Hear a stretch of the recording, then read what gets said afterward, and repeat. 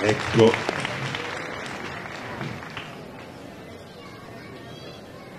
Innanzitutto lo ringraziamo perché ha arrestato la pioggia e quindi è stata una prima grande operazione, brillante operazione della Procura di Catanzaro, come si dice.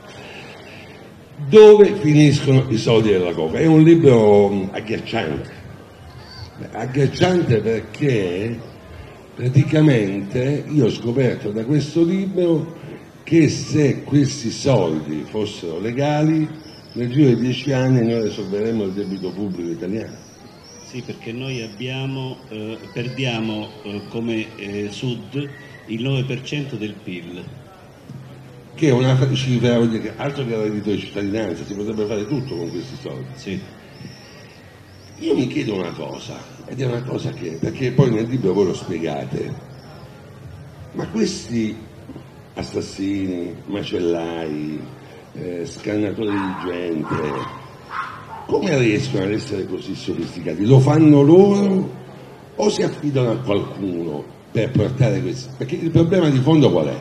Se io ho una casa piena di banconote, cioè non è che posso andare in banca a depositarlo, devo, oh, lo spiego per chi non lo sa, molti di voi leggono e ne sanno più di me, devo portare questi soldi dentro il mercato bancario, finanziario, li devo in qualche modo giustificare, anzi ci devo pure pagare le tasse, su una parte almeno.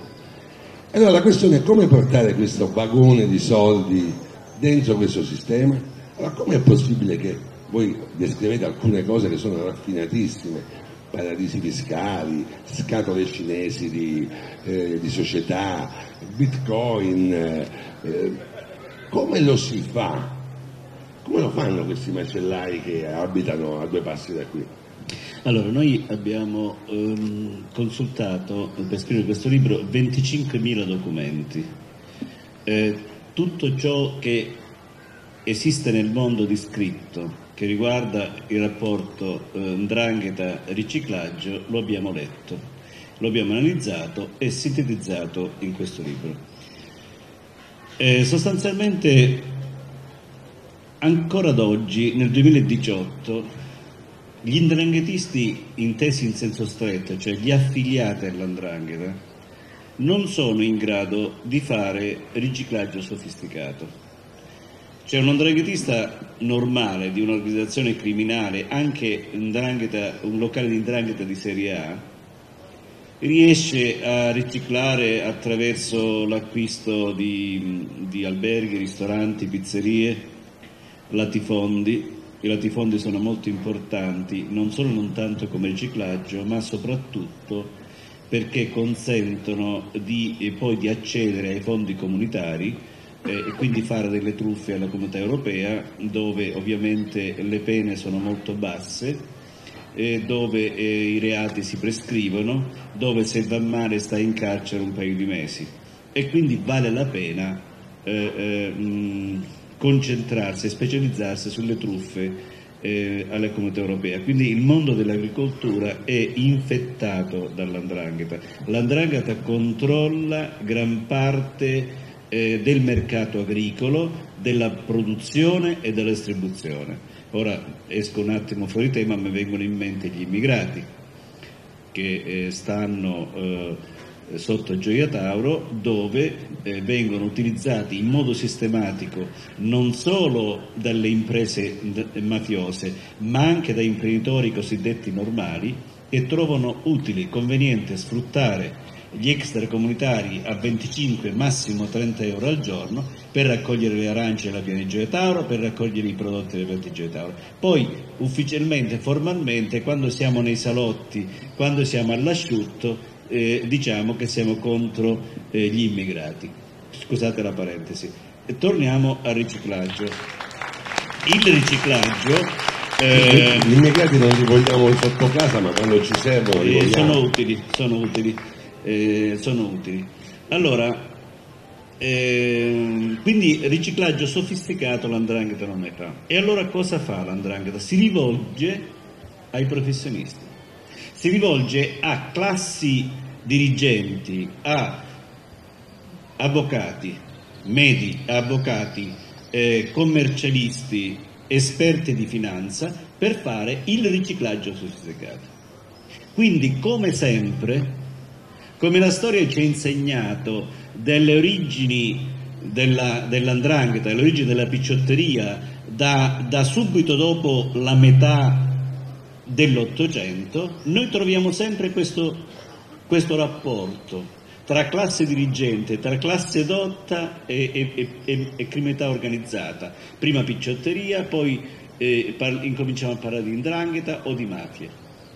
Questo è molto importante, tenetelo sempre presente, perché quando voi eh, nei salotti sen- dei ben pensanti, quando voi nelle trasmissioni di intrattenimento, anche a carattere regionale o locale, Sentite parlare gente che si definisce dotta o colta, si mette a fare analisi sulle mafie, analisi sull'andrangheta, analisi sulla picciotteria e intere classi dirigenti si autoassolvono. Eh, spiegando che il problema delle mafie, la crescita delle mafie, sia un fatto che riguarda altri, cioè si autoassolvono. Non è assolutamente così. E non solo in Calabria. E non solo in Calabria. Noi abbiamo, anche in questo libro, abbiamo scritto sul piano scientifico, storico, giudiziario, come classi dirigenti, classe dotte, quali? Avvocati, medici, ingegneri, latifondisti, classe borghese o aristocratica, hanno sempre avuto rapporti, hanno sempre usato. Nella, nella, parte, eh, nella seconda metà del no, dell'Ottocento e prima metà del Novecento, fino agli anni 70, le classi dirigenti hanno usato le mafie, hanno usato le mafie per risolvere problemi e conflitti tra centri di potere che stanno sopra le nostre teste. Sono serviti anche come bacino di voti. Negli ultimi vent'anni il rapporto er- si è ribaltato, perché oggi sul piano sociale purtroppo, con, con dispiacere, con amarezza, vi confermo che oggi sono i candidati, moltissimi candidati, alle comunali, regionali, nazionali, alle elezioni nazionali che vanno a casa dei capimafia, bussano, si siedono nel salotto e chiedono pacchetti di voti in cambio di appalti o di benefici, salvo poi eh, condannare la mafia, sdegno e costernazione quando, vedono, o, o, o, quando ci sono omicidi, non, eh, eh, avendo, avendo, stando attenti a non fare minimo cenno a cosa ha determinato, cioè per quale motivo oggi noi abbiamo la mafia quantomeno più ricca nel mondo occidentale. Cioè oggi nessuno dice eh, per quale motivo nella seconda metà dell'Ottocento eh, i latifondisti, ehm, la classe dirigente delle città calabresi hanno usato, hanno utilizzato i picciotti per condizionare il voto. Il voto di scambio non è un fatto degli ultimi decenni, è, è, una, è un leitmotiv, è una costante di tutta, dall'unità d'Italia ad oggi, di tutte le consultazioni elettorali, che a vario titolo e in vari modi, a seconda del momento storico, vediamo sempre una correlazione tra eh, la classe dirigente, tra il candidato, tra il blocco eh, che sta attorno al candidato e il picciotto o l'ondranghitista di turno. Le faccio una domanda fuori dal libro perché è la, la domanda che mi è venuta in mente. E mi è venuta in mente proprio perché in questi giorni qua per una disposizione non si può bere vino, quindi non glielo potrò offrire né bar, a me dispiace molto per gli operatori, per i baristi, perché come dire, è una scelta che non capisco, però rispettiamo le scelte. Ma il proibizionismo non produce illegalità. Allora, se si legalizzasse questa droga, non sarebbe più l'andrangheta la quarta azienda italiana dopo Eni, eh, dopo Fiat, che produce 52,6 miliardi. La legalizzazione non asciugherebbe improvvisamente il mare dell'illegalità in un colpo solo. Cioè io vedo che già la marijuana si vende, quella a basso coefficiente, si vende alla tabaccai. Dicono, ma e farlo con la cocaina? Allora, eh, grazie della domanda. Mi piace quando fanno questa domanda, perché mi consente di spiegare in modo scientifico. Io faccio questo lavoro da più di 30 anni, dall'86 che faccio questo lavoro. E eh, ehm, quando i miei denigratori volevano dire sì, ma Gratteri fa solo droga, eh, ora la stanno cercando tutti, e per, eh, ora stanno cercando tutti perché eh, serve, serve. Allora, io ho sempre contrastato il narcotraffico e sono tra i magistrati in Italia che ha fatto più indagini nel mondo sul traffico di stupefacenti, tutti i tipi e noi grazie anche al fatto, dato che il GOA della Guardia di Finanza di Catanzaro è la migliore struttura antidroga che ci sia in Italia. E ci sono delle eccellenze. Assolutamente sì, ma in questo momento eh, guardate che in questo momento storico nel distretto di Catanzaro, in questo momento storico, noi abbiamo nei vertici delle forze dell'ordine, dei carabinieri, della polizia e della Guardia di Finanza, abbiamo tra i migliori investigatori del mondo, di, d'Italia, tra i migliori investigatori d'Italia. Noi abbiamo eh, nei vertici dei comandi provinciali eh, persone che sono dal, che nella graduatoria dei loro concorsi sono tra primo e quinto, primo, terzo, quinto, d'accordo? Questa è una cosa che non è mai accaduta nel distretto di Catanzaro, oggi e penso che forse vi siete accorti che qualche risultato in più lo stiamo ottenendo negli ultimi due anni. E questa è la cosa importante, ad esempio, per quanto arriviamo alla droga.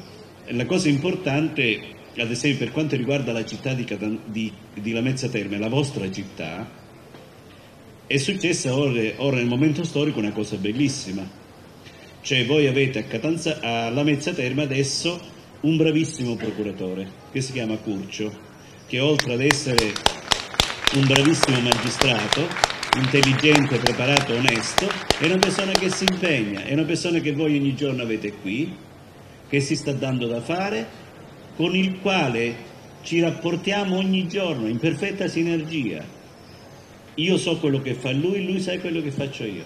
Questa è una cosa fondamentale, importante e stiamo ottenendo risultati concreti sulla città di Lamezia. Io vi dicevo, l'anno scorso noi abbiamo arrestato 174 soggetti indagati per mafia nel circondario di Lamezia Terme.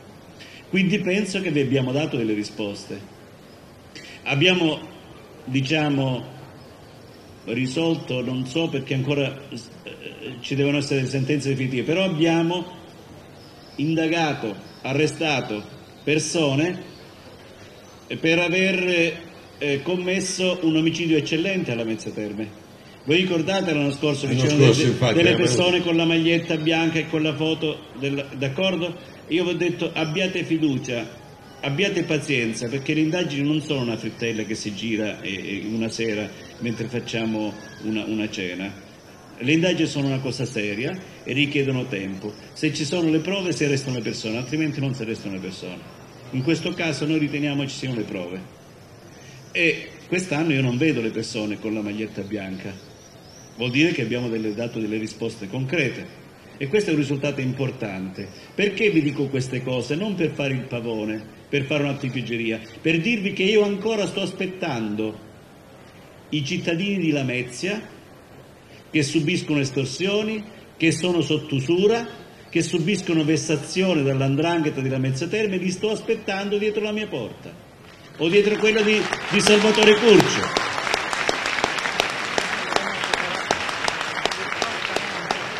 Siete qui a battermi le mani, la, stan- la piazza è stracolma, ma, ma non basta. Non basta solo indignarsi contro la mafia, dovete prendere posizione. Lo so, noi calabresi siamo un po' paranoici, diffidiamo, non ci fidiamo, però penso che ad oggi vi abbiamo dato delle risposte concrete. Siamo stati concreti, seri. Abbiamo dato tutto noi stessi alle indagini, al lavoro e al risultato. Ancora vi sto aspettando. Torniamo alla domanda sulla legalizzazione. Allora, parliamo intanto dal punto di vista scientifico è sbagliato ormai parlare di droghe leggere e droghe pesanti perché il THC eh, della marijuana è cambiato, non è più la marijuana dei figli dei fiori di 40 anni fa. E allora vediamo cosa dicono quelli, ma mi pare che sta piovendo, com'è? No. Eh, vediamo cosa dicono quelli che sono d'accordo per eh, legalizzare le cosiddette droghe leggere, cioè marijuana ed hashish. Allora dicono, se noi legalizziamo eh, la marijuana e l'hashish, allontaniamo i giovani dalla criminalità organizzata.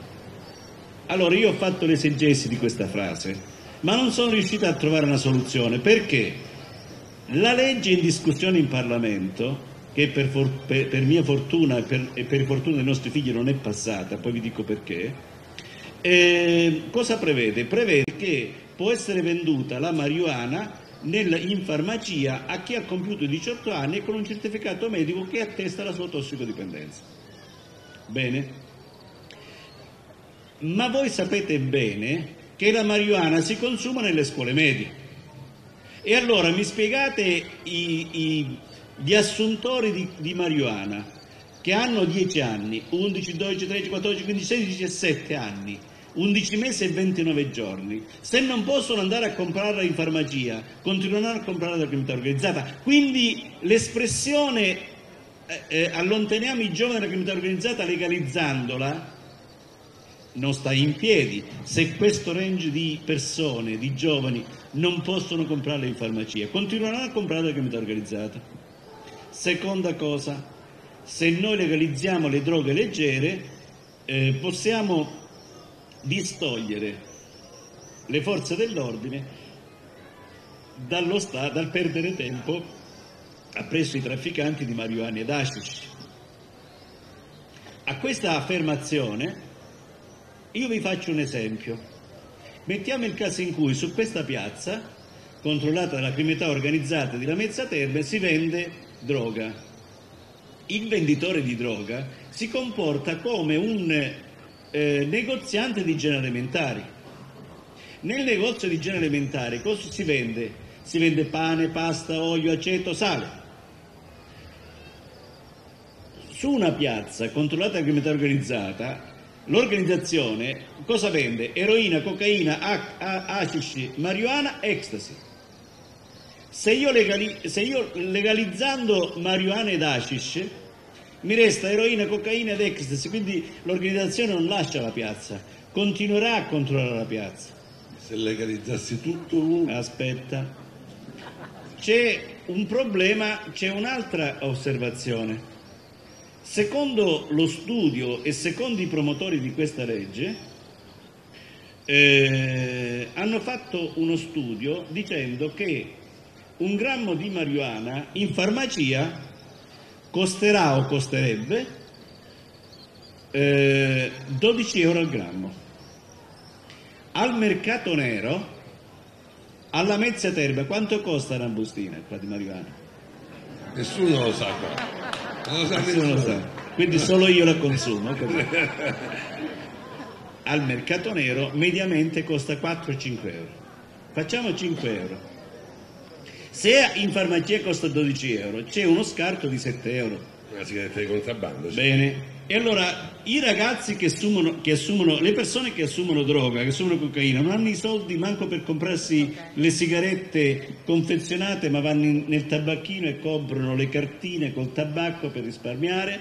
Figuratevi se vanno in farmacia a comprare la marijuana a 12 euro anziché a 5 euro. Ma anche se eh, quando va a regime eh, la facciamo costare 10 euro, non andranno comunque in farmacia a comprarla, continueranno a comprare al mercato nero alla in farmacia chi va? Va quello che si sente ideologicamente progressista avanzato, che guadagna 15.000 euro quello che fa l'uomo di sinistra con uno stipendio da 15-20 mila euro e, e, e, che, e, che, costa perché poi, perché poi a un certo punto eh, il permissivismo è più una moda è più un ostentare progressismo, un, un, un, ostentare sentirsi uomini di cultura avanzati, aperti.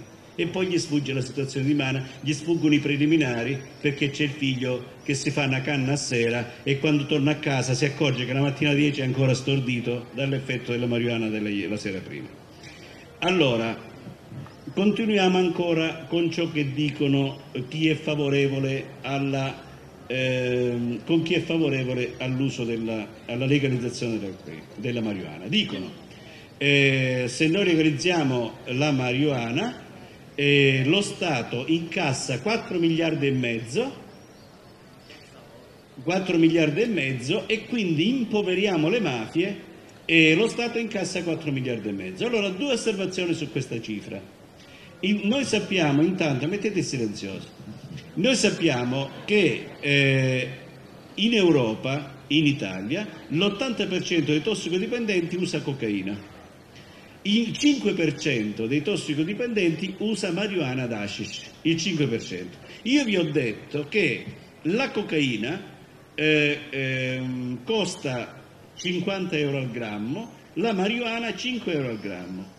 Noi abbiamo quindi l'80% dei tossicodipendenti che usa cocaina anziché marijuana, ora arriva la legalizzazione della cocaina. Andiamo ad aggiungere, vi ricordate quando hanno legalizzato e regolamentato le slot machine nei bar? Eh, chi era favorevole a queste slot machine ha detto lo Stato incasserà 2 miliardi e mezzo, eh, 2 miliardi e mezzo di tasse. Bene, tutti contenti, lo Stato incassa. Nessuno oggi dice quanti si spende per la ludopatia. Quanti, quanti vecchi ci sono la mattina davanti ai bar che aspettano alle 6 che il barista apra la sala cinesca per, per consumarsi nella prima settimana la pensione perché la ludopatia è esattamente come la, come la, la tossicodipendenza. Il tossicodipendente cosa fa? Eh, incomincia a rubare in casa, poi ruba fuori, poi picchia i genitori per prendergli i soldi, perché è un malato. La ludopatia è la stessa cosa, è la stessa cosa. Io vado spesso nei centri per i tossicodipendenti a parlare ai ragazzi, a parlare agli uomini, alle donne tossicodipendenti. E queste donne, gente di 50 anni, piangendo, dice procuratore faccia di tutto per non far passare questa legge, perché siamo tut- partiti tutti con le canne e siamo ora ridotti in queste condizioni. Vi dico che per me è la cosa più difficile andare a parlare nei centri di tossicodipendenza. È qualcosa che scuote. Io vi invito, invito tutti ad andare, soprattutto i giovani, andate nei centri per tossicodipendenti a parlare con questa gente che soffre.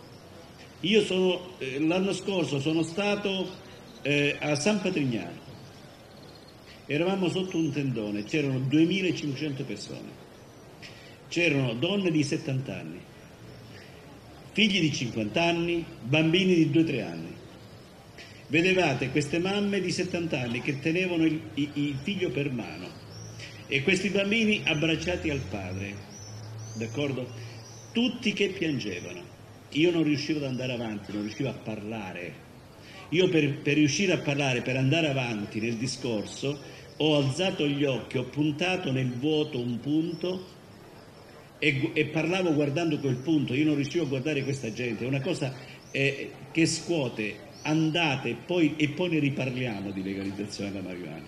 Andate in, in, questi posti dove si soffre veramente e sentite delle storie incredibili, mamme, figli di commissari di polizia, figli di forze dell'ordine, figli di magistrati, là dentro. La mamma che denuncia il figlio per farlo arrestare, che va e organizza con le forze dell'ordine per incastrare il figlio, per arrestarlo, per portarlo in carcere, per costringerlo a entrare nel comitato terapeutica, per costringerlo a, a, provare a disintossicarsi. Perché attenzione, ogni 10 persone che entrano, solo in 4 ce la fanno, gli altri non ce la fanno, gli altri finiscono morti.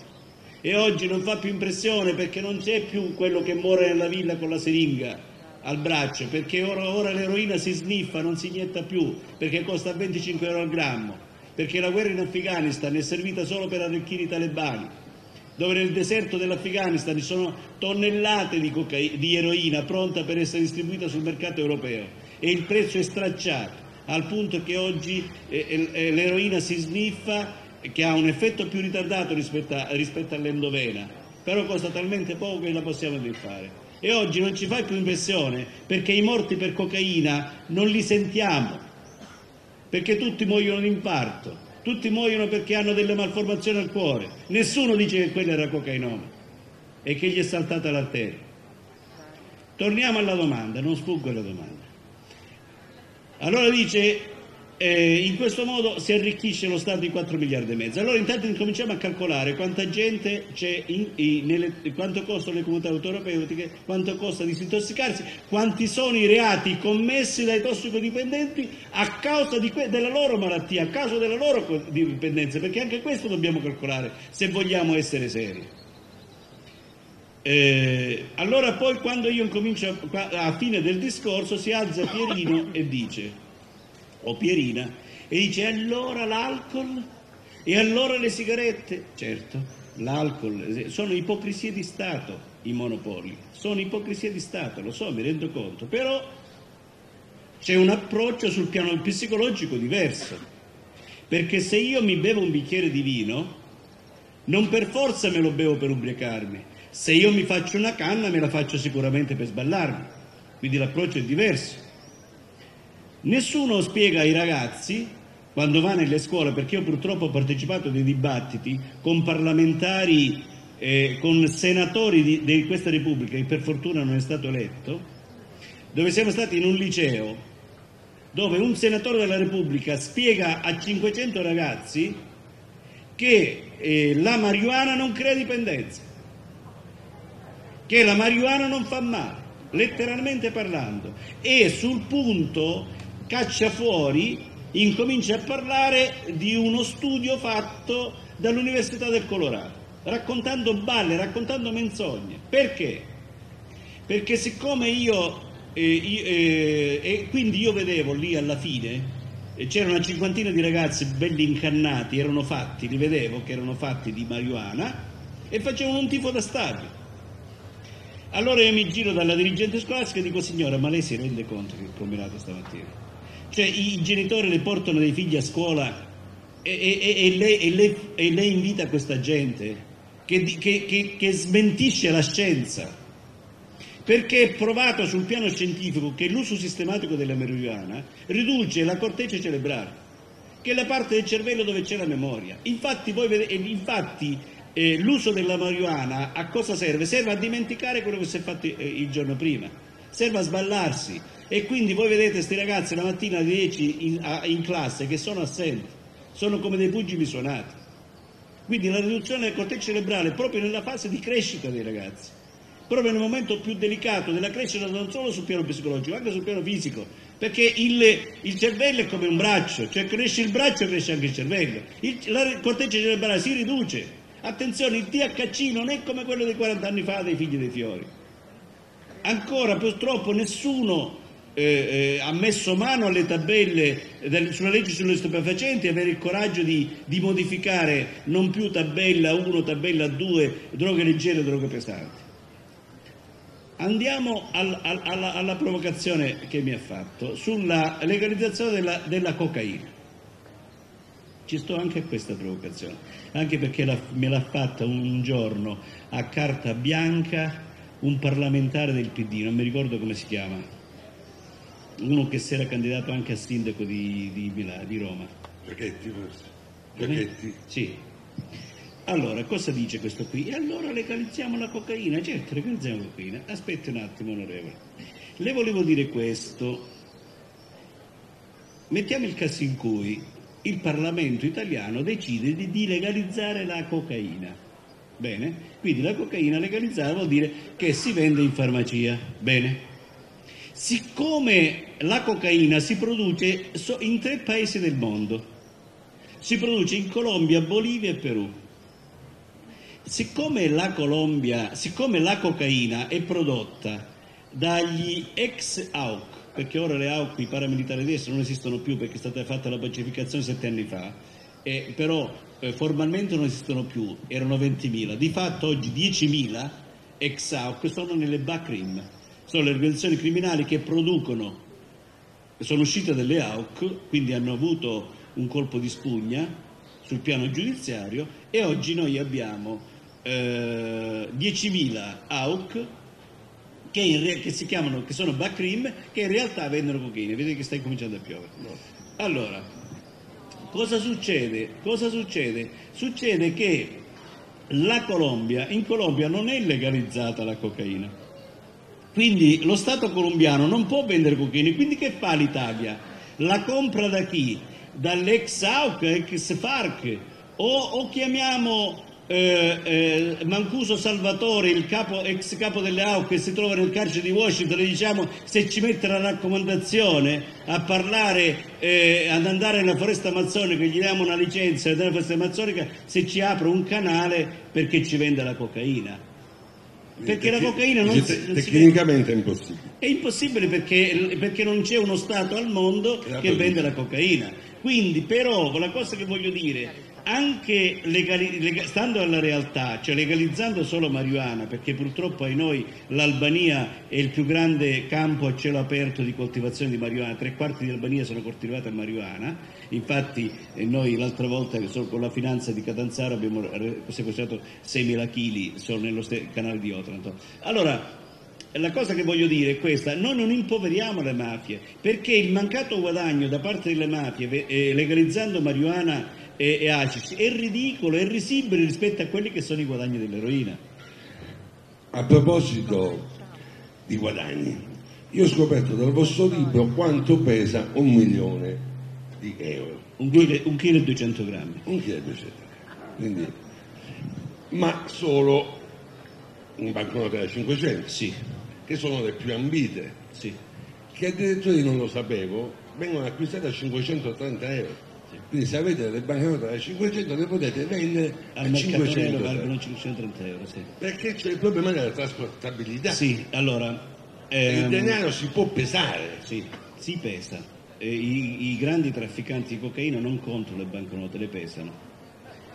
Allora, cosa succede? Dica un chilo di euro, un chilo di dollari. Sì, allora, eh, succede così. Eh, i, le organizzazioni le organizzazioni criminali sudamericane che vendono la marijuana alle organizzazioni criminali europee non vogliono, tutti i soldi dalla vendita della cocaina non tornano in Sud America perché le organizzazioni criminali sudamericane ritengono più conveniente investire in Europa. Quindi l'Europa è il più grande supermercato dove acquistare. Quindi non solo le mafie italiane, ma anche le mafie sudamericane preferiscono investire in Europa. Solo il 9% della somma della vendita della cocaina torna in Sud America, solo il 9%. Il rimanente, la rimanente somma, che è enorme, che corrisponde a una finanziaria di uno Stato medio, viene eh, utilizzata per comprare tutto ciò che inventa nelle maggiori eh, capitali europee. Quindi palazzi, attività. Eh, palazzi, attività, anche borsa. Se, se, se, noi andiamo nella City di Londra, la City di Londra è uno dei, dei centri di maggior riciclaggio al mondo. Allora, cosa volevo dire? Quindi quel 9% che torna in Sud America torna con lo stesso metodo, con lo stesso modo con cui arriva la cocaina in Europa. E allora cosa si fa? Le banconote si cerca di mandare in Sud America meno, meno peso possibile. Allora, una, quindi la, la, moneta privilegiata è la banconota da 500 euro. Che non si trova infatti. Non si trova. Io non l'ho mai vista in vita mia, non, non ho mai visto dal vivo una banconota da 500 euro e quindi mercato, al mercato negro costa 530 euro. Perché? Per avere un milione di euro eh, vuole, pesa 1,2 kg grammi che entra, che entra, in, una, in una valigetta 24 ore. Per avere eh, il controvalore di un milione di euro, di un milione di dollari, ci vogliono 5 volte 1,2 kg quindi occupano 5 volte lo spazio. Sono zaino. C- c- lo spazio cinque, quindi 5, 5 valigette 24 ore. Quindi abbiamo eh, 5 kg eh, 6 kg al posto di un chilo e 200 grammi. Quindi l'euro, quando noi siamo stati a Bruxelles col professore Nicaso in una commissione del eh, Parlamento europeo, tanti anni fa, abbiamo detto, tra le tante sciocchezze che abbiamo detto noi, abbiamo detto un'altra sciocchezza, fate uscire dal corso legale le banconote da 500 euro perché sono la moneta privilegiata, la banconota privilegiata dai narcotrafficanti per il pagamento di cocaina. Chi ridacchiava, chi diceva ma questi chi sono? Cioè, eh, ci vedevano come degli stupidi che venivamo dalle campagne eh, della Calabria per andare lì a parlare. Ma quando noi diciamo qualcosa, io, le sciocchezze che io vi sto dicendo stasera sono il risultato di 32 anni della mia vita, di 32 anni di lavoro più o meno intenso e più o meno costante. Quindi ehm, penso che forse qualcosa possiamo dire, eh, qualcosa possiamo raccontare perché quello che vi racconto è, è il risultato della mia vita. E quindi se io ho visto che la banconota di 500 euro, la banconota privilegiata è quella usata, e questo glielo ho detto alla Commissione europea dieci anni fa, non adesso, dopo che i buoi sono usciti dalle stalle, no? Ma a questo punto allora, cosa ne pensa della, di una dichiarazione del, del, Ministro degli Interni Salvini che ha detto dobbiamo liberalizzare il contante, basta Assolut- Assolutamente no, esattamente il contrario dobbiamo fare. Dobbiamo fare esattamente il contrario, più c'è la tracciabilità del denaro eh, eh, più difficile è eh, riciclare, esattamente il contrario, io farei sparire il contante eh, non limiterei il contante, lo farei sparire la banconota eh, e lavorerei solo con le carte di credito, con la tracciabilità, eh, perché più è possibile tracciare i soldi, più eh, si evita il, eh, il lavoro nero, eh, evita, a meno che non si torni al baratto. Se il lavoro nero, lo sfruttamento, l'evasione fiscale, il riciclaggio, è, esattamente il contrario di quello che si dice, cioè noi dobbiamo stare attenti quando parliamo a quali sono gli effetti sulla società, sul mercato, sull'economia, anche se noi siamo poveri, a noi deve interessare il mercato, deve interessare il destino del mercato, dell'industria, anche il mondo dei ricchi ci deve interessare, perché se non funziona quel mondo noi moriamo di fame. Quindi il mercato va regolamentato, l'economia va regolamentata e quindi il potere eh, legislativo deve trovare gli strumenti idonei per creare il giusto equilibrio tra l'imprenditore e, e, e, e la, la, classe dirigente e la classe operaia. Ma meno contanti ci sono in giro, maggiore eh, possibilità di avere un mondo legale c'è. Quindi questo diciamo, è un messaggio che lanciamo al Ministro degli Interni. Io non è che parlo a questo o a quell'altro, voi se voi mi conoscete io dico sempre quello che penso e se non posso dire la verità sto zitto.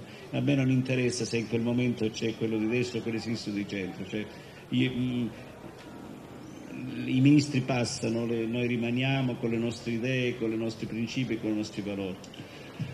Le faccio un'altra provocazione, ma se noi togliessimo tutto questo denaro illegale dal, dal circuito, non ci sarebbe il rischio di un impoverimento collettivo? Ora, cinicamente, alla fine questo denaro illegale dal lavoro cattivo, eh, fa, so, alza il mercato immobiliare, lo tiene vivo, eh, improvvisamente se lo riuscissimo a prosciugarlo,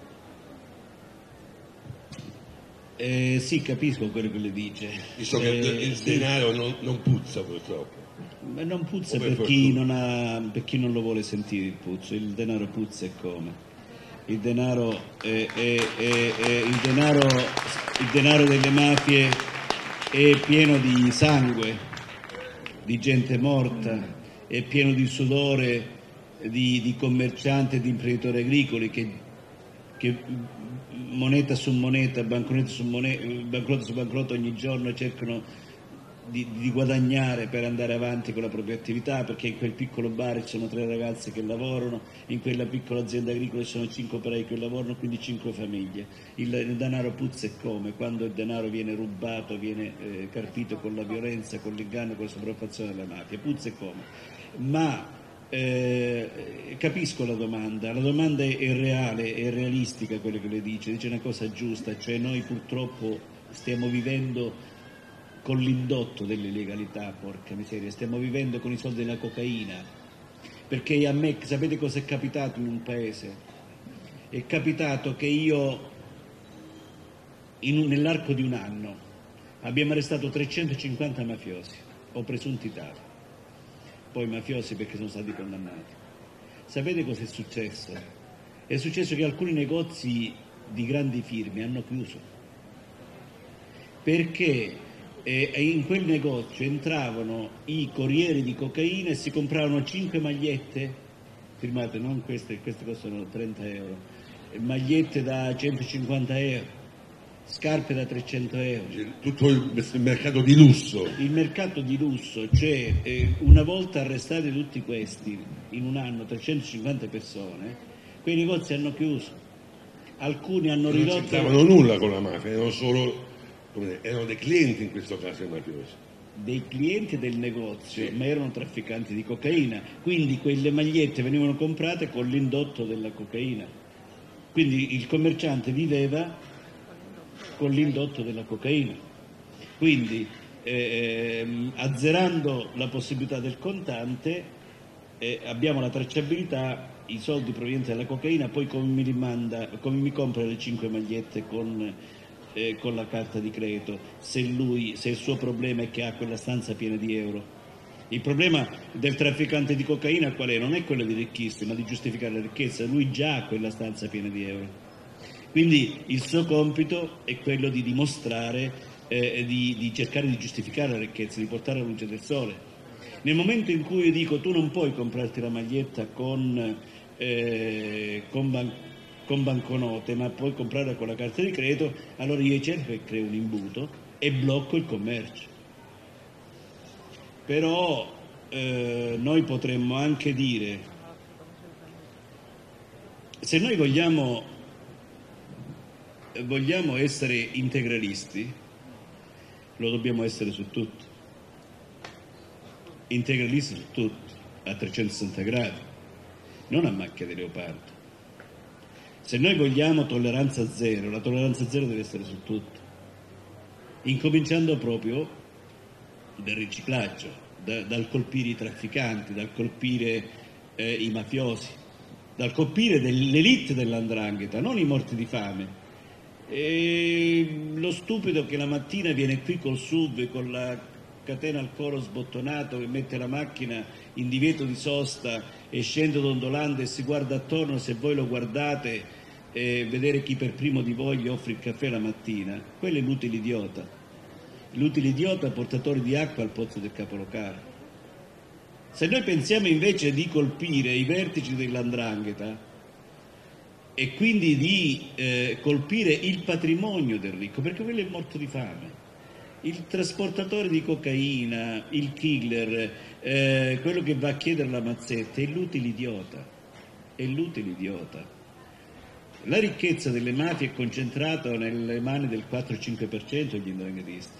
Allora se noi ci concentriamo su quel 4-5% di indranghetisti, cosa molto difficile e faticosa ma possibile, e in parte in tantissime occasioni ci siamo riusciti e ci riusciremo ancora, perché noi siamo ancora all'inizio della partita, allora noi eh, eh, dobbiamo avere un sistema giudiziario a tolleranza zero.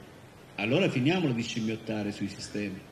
Incominciamo a creare un, un, nel rispetto della Costituzione un codice penale, un codice di procedura penale, un ordinamento penitenziario che non siano le carceri delle porte girevoli, che quantomeno diano la sensazione all'opinione pubblica non dell'indeterminatezza, dell'incertezza di quando uno esce dal carcere. Quando una persona esce dal carcere, anche con una sentenza definitiva, nessuno sa quella persona quando uscirà. Lo sapete questo? Nemmeno il magistrato di sorveglianza sa se uscirà quest'anno l'anno prossimo fra due anni. Perché ci sono una serie di tali e tante maglie larghe che, che create dal sistema, create dal legislatore anche di quelli che si battono il petto per la legalità, che partecipano a tutte le, le manifestazioni antimafia, che si strappano i capelli, che sono i più bravi oratori quando devono commemorare Falcone Borsellino. e, e, e gli altre vittime di mafia, gli altri eroi di questo paese, che grazie a loro oggi siamo qui, che possiamo parlare, grazie alla loro morte, tra virgolette, noi oggi abbiamo una legislazione antimafia. Perché la legislazione antimafia italiana, ricordatevi, che è nata sempre il giorno dopo delle stragi. Sempre il giorno dopo delle stragi. E allora, e allora, se noi vogliamo essere seri e credibili, dobbiamo cambiare le regole del gioco, dobbiamo cambiare il sistema. Noi continueremo comunque a contrastare le mafie con tutte le nostre forze e le nostre energie, con gli uomini, con i miei colleghi, amici, con le forze dell'ordine che sono anche qui in questa piazza stiamo dando tutto noi stessi, continuiamo a lavorare qualunque sia il sistema giudiziario, qualunque siano i ministri, chiunque siano a governare, non ci interessa questo. Certo, chiediamo sempre a chiunque sta al governo, andiamo sempre a chiedere, a bussare, a chiedere uomini, mezzi, strumenti e se possibile anche modifiche normative, perché noi non vogliamo avere problemi di coscienza. Nessuno può dire non sapevo, nessun parlamentare può dire non sapevamo perché noi abbiamo gratuitamente anche fatto proposte di legge, articolati di legge, che è una cosa diversa, non relazioni sulla mafia, che ne abbiamo fin sopra i capelli, di relazione e di analisi e di professori e di consulenti pagati in modo profumato, perché non è etico, non è etico continuare a chiedere soldi, non ci si paga per fare una relazione sulla mafia, non ci si paga per parlare di mafia, non ci si paga per fare un articolato legge, noi lo facciamo sempre gratuitamente, siamo i consulenti gratuiti, gratuiti di tutti, di tutto l'arco istituzionale, chiunque ci chiama diciamo come la pensiamo. E lo fa- l'abbiamo fatto, lo stiamo facendo e lo faremo, perché ai posteri la storia dirà poi chi aveva ragione e chi aveva torto, noi intanto abbiamo scritto e detto anche nei nostri libri, che saranno una testimonianza per il futuro, quando i nostri nipoti leggeranno questi libri e diranno quei due scemi e tutti gli altri scemi che vengono qui a parlare di libri. Ah, già, già 30 anni fa, già, già 50 anni fa, alla Mezzi, a Trame avevano già... Allora, speriamo che siano superati. Non lo so. Da 30 anni visto che può anche non rispondermi Gatteri, se vuole, lei ha letto il contratto di governo sulla parte della giustizia? No. Allora non le posso fare la domanda, se non l'ha letto. Un'ultima cosa, leggendo il suo libro, eh, giuro che mi ha preso, il vostro libro mi ha preso uno sconforto.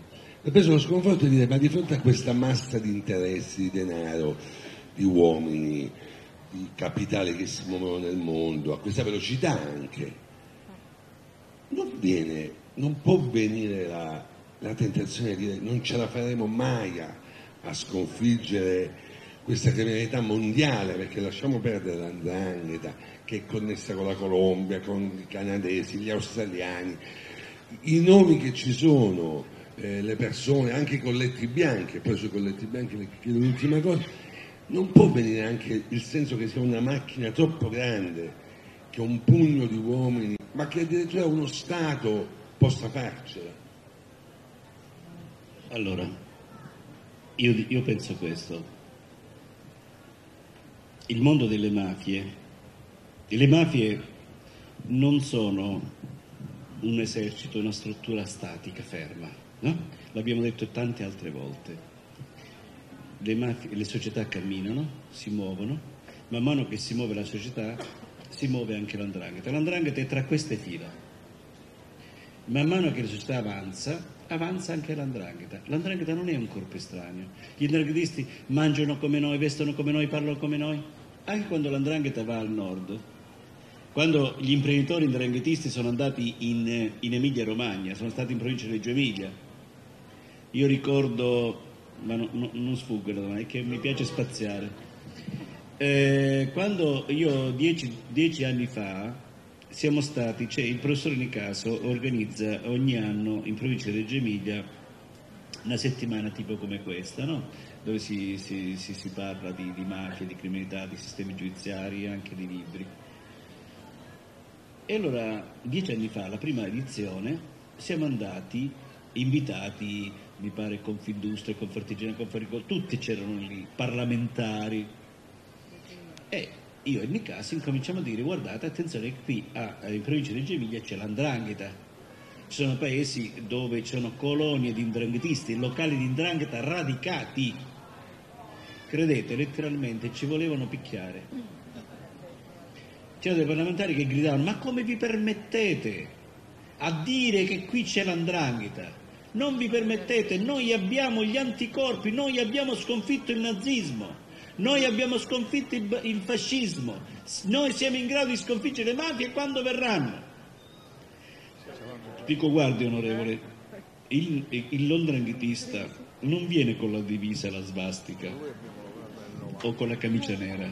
Londranghitista veste esattamente come lei, mangia, ha solo un lieve accento calabrese, come il mio, ma le assicuro che è identico a lei e offrirà ai suoi concittadini eh, forza lavoro, cemento depotenziato, eh, tondino di ferro con un ribasso del 40% e il suo concittadino imprenditore da tre generazioni che compra il ferro sempre a 100 non resisterà alla tentazione di comprarlo a 60 anche per superare questi ultimi 12 anni di crisi.